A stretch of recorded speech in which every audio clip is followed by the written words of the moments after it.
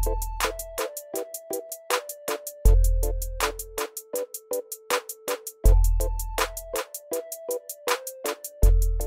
Pour les indicateurs conjoncturels, on a au fil du temps euh, toute une, une batterie d'indicateurs utiles au marché, à tous les acteurs publics, tous les acteurs économiques, euh, avec des règlements européens, des règlements internationaux, des comparaisons internationales possibles. Tout ça est bien balisé. Pour les indicateurs structurels, c'est plus compliqué parce que les politiques publiques sont euh, innombrables. Et on le voit avec les objectifs des Nations Unies où il y a 200, plus de 200 indicateurs.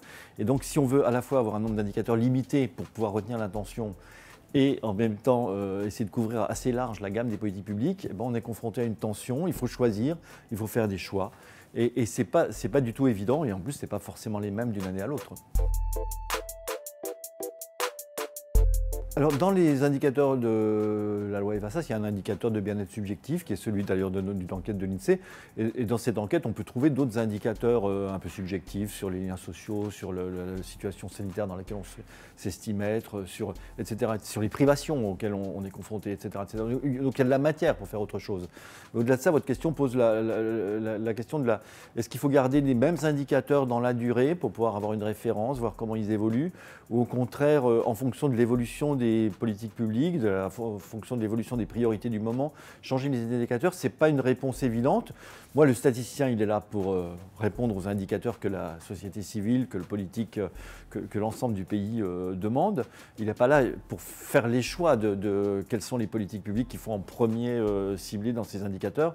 En tout cas, on sera toujours là pour essayer de répondre et, avoir les indicateurs qui, couvrent au mieux et le plus vite possible les priorités qu'on cherche à évaluer.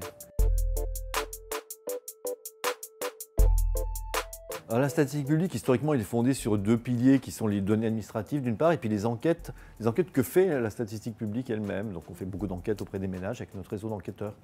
Et euh, avec la crise, en fait, on a développé, ça avait commencé un peu avant, mais la crise a été un catalyseur, la crise sanitaire a été un catalyseur de ça. On a développé le recours à des données euh, privées euh, alors, en cas de choc, c'est vraiment très utile. C'est ce qu'on a fait avec les données de carte bleue, de pouvoir mesurer en temps réel, hein, quasiment euh, en quelques jours, la chute de la consommation à travers les données de transaction euh, par carte bancaire. On a essayé, et c'est un partenariat qu'on continue, qui s'inscrit dans la durée, qui est pérennisé. On a essayé de faire la même chose au moment du premier confinement avec les données de téléphonie mobile pour voir où les Français, notamment les Parisiens, étaient partis pendant le confinement. Là, c'est un partenariat qu'on a plus de mal à ancrer dans la durée. Il y a des questions financières, juridiques compliquées, mais euh, ça donne l'exemple de ce qu'on peut faire. Et, effectivement, donc euh, à terme, je ne doute pas qu'il y aura pour la statistique publique un troisième pilier.